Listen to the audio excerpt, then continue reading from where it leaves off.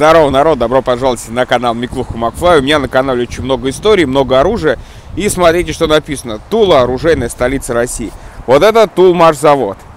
С той стороны реки Тульский оружейный завод ТОС. Но мы сегодня туда не пойдем. Мы пойдем в более интересное место. Это Тульский музей оружия. Видите, там танки разные стоят. В общем, сегодня будет много оружия и будет очень интересно. Погнали. Мы ехали из Калуги в Тулу. По дороге в Липецк решили заскочить, чисто посмотреть музей. Вот. Здесь есть экспозиция на улице, видите, всякие танки, машины. Но мы их будем осматривать потом. Сначала пойдемте внутрь, холодно.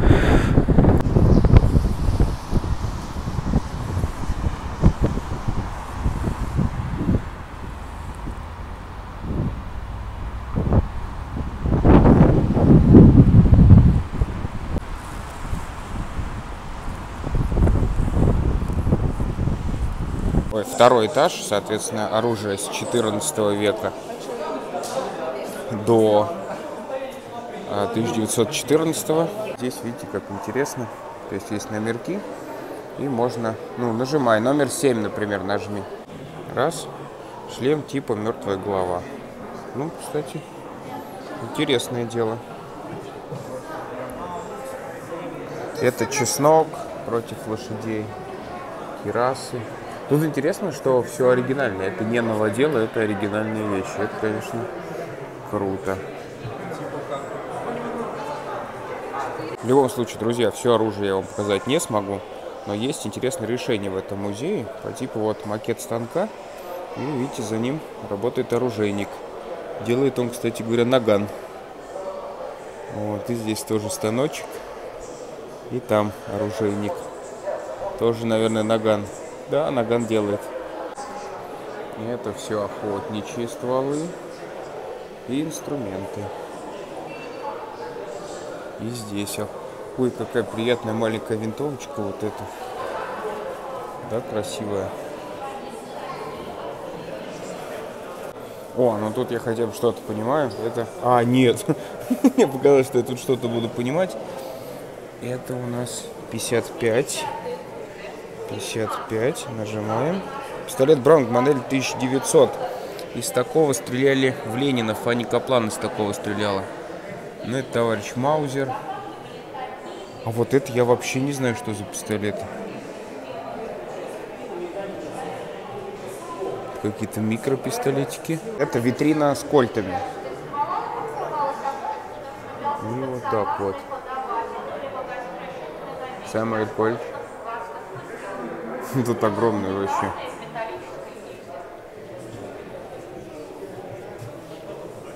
Это Манлихер. Вот же винтовочка.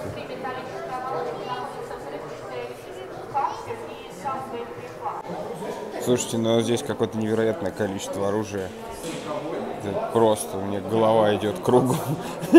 Сюда надо приехать. Сюда надо приехать. Мы сегодня, как всегда, спешим, как всегда торопимся. Вот. Но здесь каждый экспонат, каждый экземпляр. Тем более, на, на самом деле, я говорю, я был раньше в музее, там надо было читать таблички. Сейчас гораздо удобнее это все стало. Сейчас подходишь, кнопочку нажимаешь, посмотрел. Но я не сдаюсь, друзья. Я вам буду показывать по максимуму. Погнали. Смотрите, друзья, какой странный револьвер. Номер 70. Сейчас скажу, что это. Револьвер капсульный Женара 10-зарядный. Похож на пулемет. Так. Это вот времен Суворова получается. Оружие.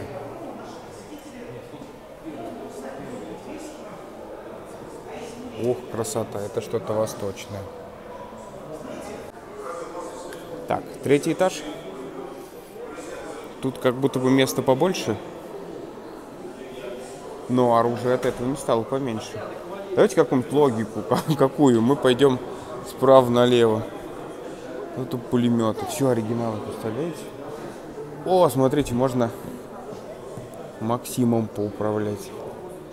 Из интересного, смотрите, здесь можно Мосинку подержать, она вот прикована. Что, надо помочь? Не, вы, ну, не вывозишь? Ну это макет. Пусть повисит. Так, что у нас на этом этаже? Там есть небольшая диорама, там можно трогать вещи. Соответственно, здесь есть выставка пулеметов. Это у нас Виккерс, американский Кольт. Далее вот это вот чудо. Пулемет станковый Сент-Этьен. Французский. Вот так вот он выглядит. Дальше здесь Гочкис. Тоже достаточно известная штука. С этой стороны у нас получается... А что это за пулемет? Можно? Сейчас одну секундочку. Пулемет станковый Шварцлоза 307-312 австро-венгерский. Ну, это Германия МГ-08. Опять же Германия МГ-08 на другом станке. И еще один МГ-08. Еще один интересный станок. Вот, и дальше по кругу, собственно, оружие. Вот, пойдемте смотреть.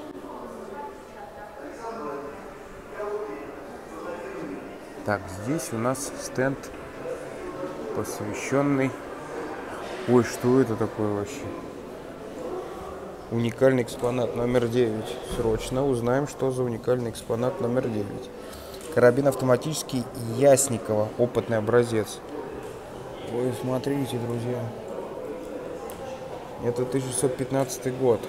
Уже попытка сделать автомат.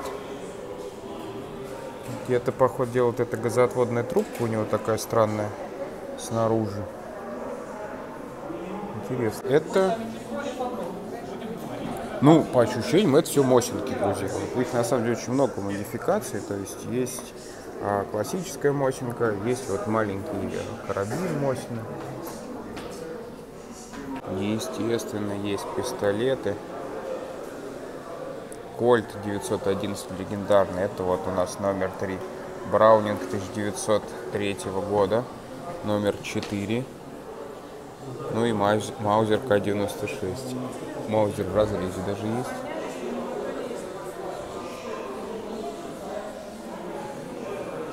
Дрейзы. Это вот номер 10. Парабеллум 1904 года. Пистолеты. Сложно, я говорю, сложно будет вам. Мне кажется, тут нужно несколько серий делать, просто по этажам разбивать. Есть пулеметы. Опять же. О, такой пулемет был в белом солнце пустыни. Нет, я знаю.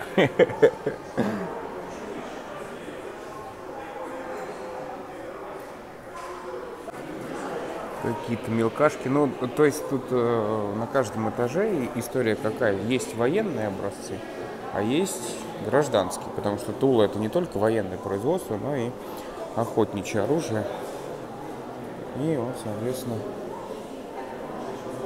охотничьи ружья.